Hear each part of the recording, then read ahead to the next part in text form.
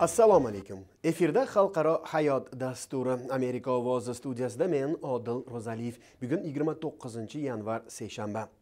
Tolibon harakati vakillari bilan muloqot qilgan aqshning afg'oniston bo'yicha maxsus vakili zalmay halilzod toliblarni kobuldagi markaziy hukumat bilan to'g'ridan to'g'ri muzokara qilishga chaqirmoqda. Hafta boshida kobulga borgan aqsh rasmiysining aytishicha qo'shma shtatlar ikki tomon o'rtasida muzokara uyushtirishga harakat qilmoqda.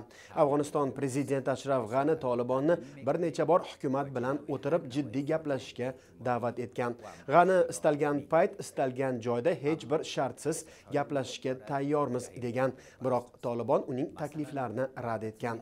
Halilzodning aytishicha aqsh tolibon o'rtasidagi muloqot o'tgan yil yozida boshlangan. Tomonlar 17 yillik urushga barham berish maqsadida ba'zi shartlarga kelishib olgan. Xususan aqsh afg'onistondan 14 ming sonli qo'shinlarning bir qismini olib chiqadi. Tolibon esa zo'ravonliklarga barham beradi. Venesuela prezidenti nikolas maduroning aytishicha qo'shma shtatlar venesuela davlat neft kompaniyasiga sanksiya qo'yishi mamlakatda zo'ravonliklarga sabab bo'lmoqda. Kompaniyaning aqshdagi mulki muzlatilib amerika fuqarolari va shirkatlariga u bilan ish qilish man etiladi. Maduro aqsh prezidenti donald trampni venesuelada davlat to'ntarishiga harakatda ayblamoqda. Una vez más muxolifat bilan istalgan payt istalgan joyda muloqot qilishga tayyorman dedi u. Qo'shma shtatlar milliy majlis spikeri xuan guaydoni vaqtincha prezident etib tan olishi ketidan maduro aqsh bilan diplomatik aloqalarni uzdi. Amerikalik diplomatlar mamlakatni tark etdi. Guaydo maduroning qayta saylanishiga olib kelgan saylovlar soxtalashtirilganini aytib yangi saylov o'tkazilgunga qadar o'zini rahbar deb e'lon qildi.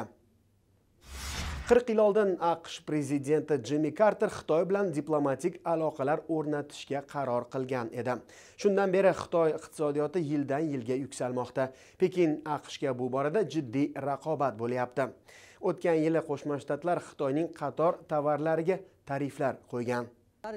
Sobiq prezident jimmi karter amerika ovoziga intervyu berib xitoy bilan 1979 yilda imzolangan shartnomani xotirladi.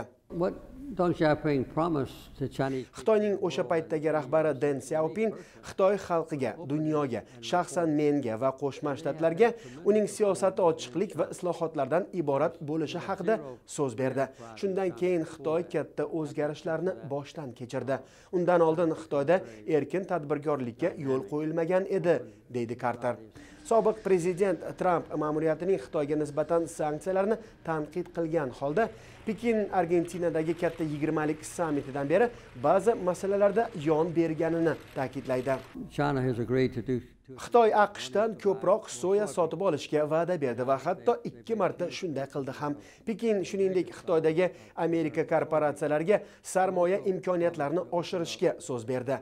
Har gal savdo bobida xitoy bilan tortishganimizda zararini nafaqat xitoy balki aqsh ham ko'radi deydi jimmi karter biroq xitoy bo'yicha ekspert kristofer jonsonning aytishicha prezident tramp transtinch okeani hamkorlik shartnomasidan chiqib xato qildi.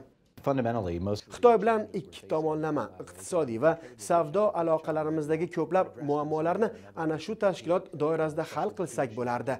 Ayniqsa davlat tasarrufidagi kompaniyalarga subsidiyalar berish intellektual mulkni himoya qilishga doir masalalarni transtinch okeani hamkorlik bitimiga bir guruh mamlakatlar a'zo bo'lgani uchun kelishish osonroq. Chunki davlatlar xitoyga ayni shikoyat bilan guruh bo'lib yondashsa pekin til topishishga majbur deydi Washingtondagi strategik va xalqaro izlanishlar markazi eksperti.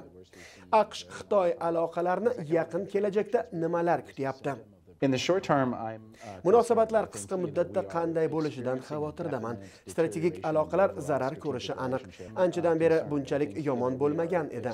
hozirgi iqtisodiy va savdo ziddiyatlari kattaroq muammodan darakdir bu ikki yirik mamlakat til topishib ketarmikan deya so'raydi jonson mutaxassisning aytishicha qo'shma shtatlar shimoliy koreyani yadro dasturidan voz kechishga undashida xitoy bilan aloqalarni yaxshilashi o'ta muhim siz xalqaro hayot dasturini tomosha qildingiz. Vashingtondan men odil ro'zaliyev xayr omon bo'ling.